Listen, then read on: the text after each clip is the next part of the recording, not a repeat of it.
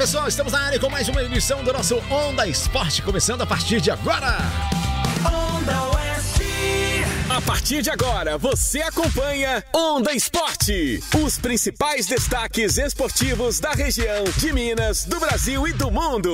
Onda Esporte. Oferecimento Cogil Materiais de Construção. Opa! Estamos, come estamos começando mais uma edição do nosso Onda Esporte aqui na sua quinta-feira, queridão. Hoje, calendário registrando 16 de fevereiro de 2023. E na área, o nosso time completaço aqui, ó. Eu, Gabriel Anderson, Roseli Amorim e também Marisol. Boa tarde pra vocês. Boa tarde, Gabriel. Boa tarde, Mari. Boa tarde, pessoal. Boa tarde, Roseli. Boa tarde, Gabs. Boa tarde, meus atletas do Pois é, coração. na área, no oferecimento da Cogil, materiais para construção e acabamento. Você que está construindo ou reformando já sabe, né? A dica de ouro é o seguinte: passa na Cogil para você levar tudo que você precisa para sua construção e para sua obra aí, tudo com preço justo, tá bom, queridão? É isso aí, tudo do bom e do melhor para você que é exigente e só gosta daquele material de qualidade, viu, Mari? É isso mesmo. E se você não quer também ficar esperando aquela entrega demoradíssima, é na Cogil. Entrega rápida, viu, pessoal? É isso aí, vamos começar a parada aqui já falando do galão da massa. Pois é, temos aqui as informações do galão e o próximo jogo do Atlético será na, na temporada, né? Será, na, no- no- será o último antes da estreia na Libertadores. Inclusive, o Roseli Amorim, o Galo já tá com pensamento na Libertadores já, viu? Está sim, viu? No sábado de carnaval, então, será esse último jogo aí antes da Libertadores. O Galo dará início nesta quinta-feira, 16, à venda de ingressos para o duelo contra o Patrocinense, válido pela sexta rodada do Campeonato Mineiro. A partida acontecerá às 16 horas e 30 minutos no Independência, em Belo Horizonte. O clube divulgou os horários das vendas. Começou às 11 horas da manhã e dará e dará direito aos sócios comprarem até dois ingressos adicionais, já com os descontos dos respectivos planos do Galo na veia. É uma tentativa de manter os bons públicos no Independência. Até aqui, o Atlético fez duas partidas de mandante no estadual. Venceu Caldense e Democrata de Sete Lagoas, ambos no Horto, com mais de 20 mil pessoas em cada partida. Por ser já o primeiro dia de um carnaval que promete atrair multidões a Belo Horizonte, a tendência é de um público mais restrito. O Atlético é o líder do Grupo A do Campeonato Mineiro com 13 pontos. Se vencer, chega a 15 pontos, faltando mais duas rodadas, sendo que o Pouso Alegre pode chegar a no máximo 17 pontos, o Atlético só poderá fazer 15 e o Vila Nova, com jogo atrasado, tem alcance de 16 pontos. Que isso Sábado quer de dizer? carnaval, então. Pois é, carnaval e a galera do galão aí trabalhando, né? É E o que, isso que isso quer dizer? É, quer dizer que O Eu Galo não tá sei fazer conta. frente. Que eu não sei fazer conta. Quer dizer que o Galo deve entrar com um time bem, bastante misto aí pra esse jogo aí, você não acha não? É, ele, ele tem que ganhar essa então para fazer 15 pontos, ainda faltam duas rodadas. Ele quer dizer, tá lá na frente. Essa é a última, né? Antes da Libertadores, depois vai enfrentar lá o. o Cara bo- bobo. O bobão lá, né? Que é o, o cara bobo.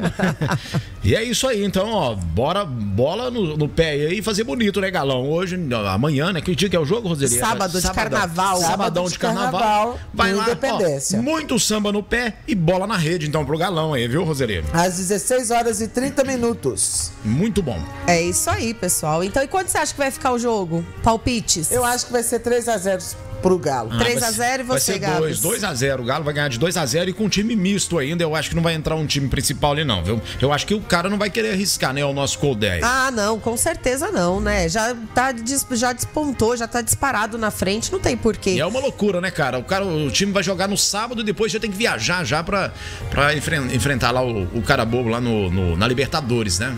Pois é, uma data ruim, né? Assim, pra gente aqui no Brasil é ruim, É. né? No meio do carnaval. Você acha que vai, o pessoal vai curtir a micareta lá e curtir o galo lá no. no- Ah, eu acho que sim, porque assim, Belo Horizonte tá prometendo um dos maiores carnavais que já foi visto na cidade, né?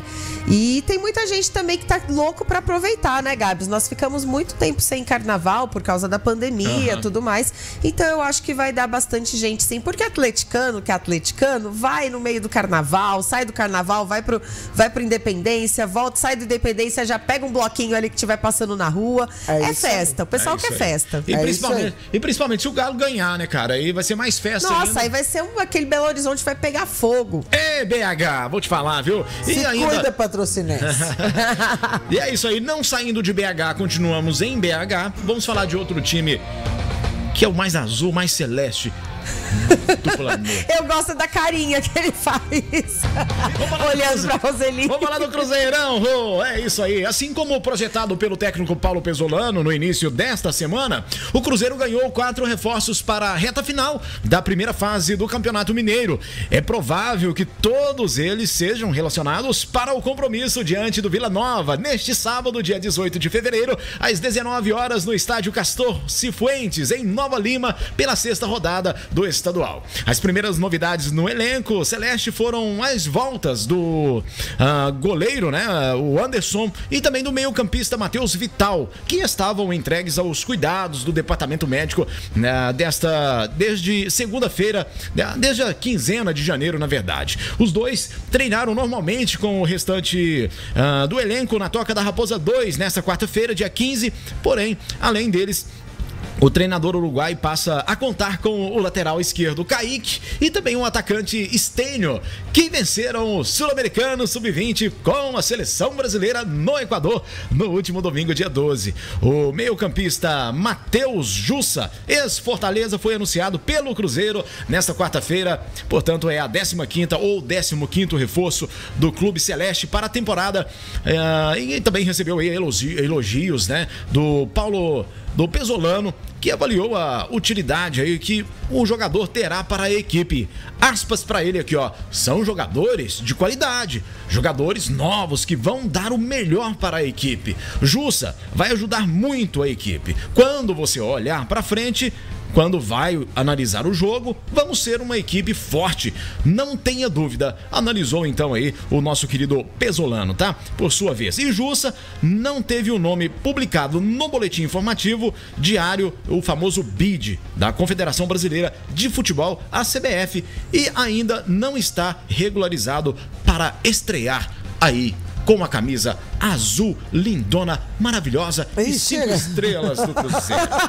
Mas já tá contratado. São tá? quatro reforços, então. É isso aí, vai poder contar com mais reforços aí naquele timaço, né? Que jogou contra o Atlético, que eu Então, particularmente gostei muito do time, da desenvoltura do time em campo, da, do equilíbrio que o time conseguiu manter do primeiro do minuto ao último minuto de, de jogo lá no, de frente ali, ó, frente a frente, tete a tete com o galão da massa. E Ai, eu vou ai, falar ai. igual você falou do galão da massa. Pra que tá contratando mais? Já tá cheio aí de gente. Então, Gente, o Cruzeiro, vou te falar, viu? Isso aí vai ter que ser uns quatro ou cinco ônibus pra É, levar, porque não para de chegar Pegando os gente. novinhos aí, ó. É, mas aí tem jogadores que já fazem parte do elenco, né? Só tava lá na seleção brasileira sub-20 só pra ir lá ganhar medalha, medalha, medalha, medalha e troféus, viu, Roselino? Hoje ele tá atacado. Hoje ele tá Gente. meio atacado, esse menino. Olha- É o tô- patê de alho que ele... Eu tô com a garganta, tô com a garganta ruim, viu? E isso porque ele tá Ah, é doentinho caramba. ainda, viu? Era pra mim estar no DM agora da Onda Oeste. Mas aí você fez o patê de alho que a mamãe ensinou e A mamãe ensinou salvou. fazer. É, deu uma salvada ali na hora do almoço, viu, Roseli? É isso aí. Mas então, com esses reforços aí, o que, que você acha então que o Cruzeiro vai arrebentar? Ah, não, eu, eu realmente eu vou no- na ideia daquele jogador que a gente citou aqui, que nós citamos aqui no nosso Onda Esporte, que deu uma entrevista falando: o Cruzeiro, a partir de agora desse clássico, é outro time, tá? Eu vou entrar nessa ideia e espero que faça valer agora nesse próximo jogo aí, então, diante do Vila Nova, que será no sabadão, às sete da noite. Pelo amor de Deus, hein, Cruzão? Sete da noite no sábado, aí não vai. De não vou, aguentar- carnaval? Não vou aguentar. Pelo amor de Deus, imagina a felicidade Senhora. dos jogadores. É que isso aí. feliz que eles estão falando, poxa, recebi ali, ó, 20 camarotes pra ir lá assistir a escola de samba, na da- da fachuda, de boa. Vou jogar bola. Vai ter que jogar um futebolzinho, né? Vai ter que jogar. E tem que jogar bem ainda, jogar viu? bem. É. Eu sou o primeiro a assistir aqui pra cobrar depois, viu? Isso aí. Então tá bom, depois você conta pra gente, viu, Gabs? É isso aí. Falamos aqui, ó, do Cruzeirão, falamos do Galão da Massa e agora chegou a hora de falar de mais um clássico, mas esse não é mineiro, não, ele é paulista, Marisol. Derby total. Palmeiras, Palmeiras, Corinthians. Será o que, que vai acontecer nesse negócio aí? Traz as informações pra mim, Marisol. Bora lá, Corinthians e Palmeiras se enfrentam enfrentam nesta quinta-feira, às 21h30, 9h30, na Neoquímica Arena, em jogo válido pela nona rodada da fase de grupos do Paulistão 2023. O Verdão ocupa a primeira posição do grupo D e tem a melhor campanha geral, enquanto o Timão é líder do grupo C do estadual. ai, ai, ai. Ah. O Palmeiras tem sua classificação encaminhada já para as quartas aí de final do Paulistão, viu, É Mari? isso aí, mas o plano do clube está focado em algo maior, que é garantir a melhor campanha da fase de grupos para ter vantagem de decidir em casa os confrontos do mata-mata. Contra o Corinthians, vale a vitória no clássico pela rivalidade, mas será mais um passo rumo ao objetivo maior. Aliado a isso, Verdão e Abel Ferreira têm uma série de marcas a serem alcançadas se conseguirem bater o rival no derby. Marcas, eh, o adversário que mais venceu na Neoquímica Arena, o Palmeiras pode igualar o retrospecto contra o Timão na casa do rival. Atualmente, as equipes acumulam 17 jogos no local, com 6 vitórias para o Verdão, 7 para o time alvinegro e 4 empates. O Alviverde soma 18 gols marcados e 17 gols sofridos. Pode ser a chance para alcançar um feito significativo para um visitante em Itaquera. O Verdão não perde um clássico estadual há seis partidas. São quatro vitórias e dois empates nos últimos duelos com o Corinthians, São Paulo e Santos. Se pegarmos o confronto com o Alvinegro do Parque São Jorge, são três vitórias consecutivas dos palmeirenses, as três em 2022. Se chegar a conquistar a quarta seguida, o time de Abel Ferreira vai igualar o feito atingido em 2008, quando vinha de três resultados positivos seguidos em 2007 e completou o quarto no ano seguinte. O Verdão perdeu apenas um dos últimos 11 clássicos contra o Corinthians, somando três vitórias consecutivas: 2 a 1 no Allianz Parque pelo Paulista de 2022, 3 a 0 na Arena Barueri pelo Brasileiro de 2022 e 1 a 0 na Neoquímica Arena novamente pelo Brasileiro de 2022. No total, são seis triunfos e quatro empates no período. O duelo entre as equipes não terá transmissão em TV aberta. A partida será transmitida pela TNT, canal de TV por assinatura, e pela HBO Max, serviço de streaming que adquiriu um pacote de jogos com exclusividade do Campeonato Paulista. Pois E é, aí? você acha que o. E aí que eu tô com ódio mortal do Daniel. É. Agora, com esse texto. Tô com ódio mortal do Daniel. É? Aham. Nem vou comentar. Ai, ai, vou te falar, Não, viu, só- Mari? Essa palhaçada de só texto me aqui. fala qual vai ser o placar, Mari. O Corinthians vai atropelar o Palmeiras na Neoquímica, eles vão perder de novo lá. É, o jogo vai ser, vai ser no Ita... na, é, Nossa, eu tô com ódio. vai ser no Aliás. No meu coração Neoquímica. agora. o jogo vai ser na Neoquímica, né? É. Vai, o Corinthians vai atropelar o O Palmeiras. Palmeiras tá com um timaço, velho. É o atual campeão, hein? Mas digamos. ele não tem costume de ganhar lá na Neoquímica, não. Vai Agora, continuar perdendo. Eu volto naquela, naquela, naquela retórica lá, digamos assim, né? Que é o seguinte, ó. Na retórica, né, Roserio? É retórica, é isso aí. Eu volto naquela retórica lá do clássico. Clássico é clássico. Clássico e aí, é meu amigo, é o clássico. famoso pega pra capar. O É timão. isso. Se o Roger Guedes não tiver com aquela preguicinha dele, eu acho que vai- sair golzinho ali, viu? Acho- Eu espero, eu viu, acho- Gabs? Eu acho que vai ser 2x1 pro Corinthians. Eu ia falar esse mesmo placar. 2 a 1 Eu pro acho que vai ser Corinthians. 2 a 1 apertado. Vai ser um jogo Mas pegado. eu acho que o Corinthians tem capacidade sim, joga muito e tamo em casa. É, vai ter, Mandante. vai É ter isso aí. dedo na orelha e cartões amarelos nos jogos e carrinhos ali também e alguns O Paulo que não esteja ouvindo, então, viu vocês? Vai ser Paulo 2x1 Rezende. então o timão ali, ó. Ah, o Daniel fez esse, esse texto aí em homenagem ao Paulo. Tá escrito Paulo coração embaixo. Eu tô pé da vida. Tá certo, então, clássico, clássico pra você, então, pra você que gosta de um bom futebol, ó, Corinthians e Palmeiras, Palmeiras e Corinthians, então, aí aqui no nosso Onda Esporte, trouxemos aí pra você alguns detalhes aí dessa partida, algumas informações, e agora, queridão, é só aguardar o jogo, e depois do jogo a gente volta pra contar pra você como é que foi o clássico, tá joia? Daqui a pouquinho voltamos com muito mais do nosso Onda Esporte, no oferecimento da Cogil Materiais para Construção e Acabamento. Gostou das informações, Roseli? Claro, Até e olha, você viu é, é, o Pança deu a indicação aí que o placar vai ficar 3 a 0 lá, ó. Pra quem? Palmeiras. Ah, dormir só tem Palmeiras. Não me ajuda aí, Pancinha. Daqui a pouquinho voltamos com muito mais na área aqui no nosso Onda Esporte com o nosso timaço em campo. As informações, as novidades, a gente conta tudo pra você aqui na programação da Onda Oeste Multiplataforma. Fica aí pra conferir. Onda Oeste. Olá você, estamos de volta na nossa Onda Oeste Multiplataforma com o nosso Onda Esporte aqui em reta final. Oeste. Oferecimento Cogil, materiais para construção e acabamento. Estamos de volta por aqui na área com o nosso Onda Esporte sensacional, sempre em exibição para você de segunda a sexta-feira a partir do meio-dia e meia. Agora eu quero saber dessa história, viu, Roseli? Vamos lá. Tá dando o que falar esse negócio daí, viu? Neymar no Chelsea? Pois é, então, essa conversinha aí. Será que o PSG tá colocando o Neymar à venda? Como é Não, que é vamos, vamos, Conta vamos pra mim, então, Roseli, é é? Esclarecer aí pro pessoal. Conta tudo. Após quebrar recorde de gastos em contratações na atual temporada, o Chelsea quer mais. Quer o jogador mais caro da história. Ao menos é o que noticia o jornal Le Parisien. O dono do clube inglês, Todd Bowley, se reuniu em Paris com o presidente do PSG, Nasser Al-Khelaifi, e a pauta? Uma possível negociação para contratar Neymar. A reunião teria sido na terça, em um almoço, antes da derrota por 1 a 0 do PSG para o Bayern de Munique. O emir do Catar e dono do time parisiense, Tamim bin Hamad Al Thani, esteve no Parque dos Príncipes em rara aparição durante partida do seu clube.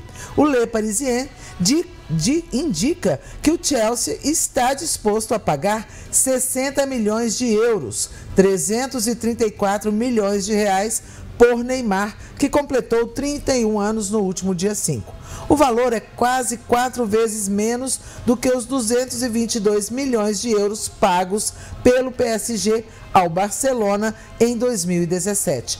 Mas, segundo o veículo francês, seria aceito pelo time parisiense. O interesse do Chelsea em Neymar foi notícia na imprensa inglesa após a mudança de dono no clube. Há um ano, há um ano. O empresário norte-americano Todd Bowley também cogitou a contratação de Cristiano Ronaldo, à época no Manchester United, e o principal entrave na transferência é o contrato aí do atacante brasileiro. No início da atual temporada, Neymar ativou uma cláusula de renovação com o PSG até 2027. Com um dos cinco maiores salários do futebol mundial, o jogador não está disposto a se desfazer do vínculo. Neymar recebe cerca de 50 milhões de euros, 278 milhões de reais por ano no PSG e declarou mais de uma vez no último ano que não vislumbra uma transferência. Eu tô aqui muito querendo me conter, porque a hora que você falou assim e não declarou, eu falei, ah, ele não costuma fazer isso mesmo. A gente já sabe. Então, é, tá sendo aí cogitado, né? A imprensa inglesa soltou isso aí, mas ainda não é nada certo, né? E ele aqui deixou claro, então, que não quer transferir. Também com salário desse, poxa. Pois é, gente, eu vou te falar uma coisa, viu? É, eu tenho uma birra com, o Gle- com o Neymar, né? É. Ai, meu Deus do céu. Eu tenho uma birrinha com ele, mas nem de graça. Pois é, né? Neymar Nem de aí, graça. Neymar com é, valor aí de 60 milhões, cara, é muita grana, né? De, de, de euros. 334 milhões. Né, é muito dinheiro aí. E o Neymar também gera muita mídia, né, cara? Então, quer dizer, o Paris pagou um dinheiro, mas hoje ele já tem esse dinheiro totalmente, né, já recompensado aí, graças ao marketing que o Neymar traz para o time, né? Tendo em vista que quando o Neymar foi pro PSG, automaticamente triplicou aí a, a questão dos seguidores no Instagram, a movimentação e tudo mais. Fizeram todo o marketing em cima disso, vendas de camisa, assim como também fizeram com o Lionel Messi, que também é um dos maiores, um dos melhores jogadores atualmente aí do mundo, né? Com a sua bola de ouro ali guardada debaixo do travesseiro. E aí o Chelsea tá de olho ali, né, cara? Fala, olha lá só, e o PSG tem Neymar, Mbappé e Messi na frente. Será que a gente não pode tirar um pezinho deles ali e levar o querido Ney lá pro Chelsea? E aí vai render também um, um querido marketing aí pro, pro Chelsea, que também precisa de um nome forte no time ali. Tendo em vista que já tem lá o nosso queridão Thiago Silva defendendo ali o Chelsea lá na zaga, viu, ô Mari? Então, e teve também há um ano atrás, né? A Cogitou. tentativa aí cogitou também com o Cris- Cristiano Ronaldo. Talvez vá passar batido como passou com ele também, né? É, o Neymar tem esse contrato aí assinado, basicamente já assinado, um pré-contrato já assinado, né? Até 2027 com o PSG. E o Neymar eu acho que tá bem em casa ali, mas aí vai também do, do- do nosso querido Sheikão aí, o, o. Como é que é o nome dele lá? O Al-Sará lá, o.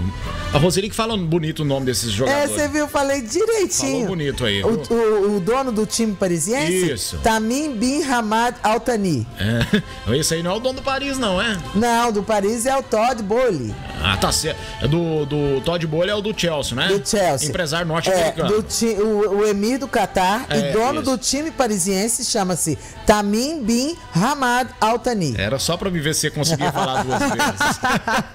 tá certo. E cogitou levar então o, Cristiano Ronaldo. O, o, o Chelsea precisa de um nome forte ali, de uma camisa forte ali no time, né? Tendo em vista que saiu lá o Eden Hazard, que fez, fez parte lá do ataque do, do Chelsea e tudo mais. E agora então tá tentando aí contratar Ney- Neymar. Neymar tem, eu acho que ele tá bem no PSG, até porque ele é amigo do Messi, né? E amizade ali faz toda a diferença, hein? Inclusive nos vestiários ali. Então, eu acho que ele tá bem ali, né? Houve uma, uma época aí que o. Ah, o Mbappé é dono do time, por que não quer o Neymar aqui? Aí depois desfizeram essa conversa, não tem esse negócio dessa treta, e agora tá tudo bem. Eu creio que Neymar não quer sair do PSG, mas a graninha ali, meu amigo, ó, o presidente vai falar assim: não, queridão, eu vou vender, vou vender você lá pro Chelsea. E aí. É, É, Chelsea, o papai Ney deve estar doido já. Novos lençóis aí pra ele, né? Chelsea, PSG, hum, vai.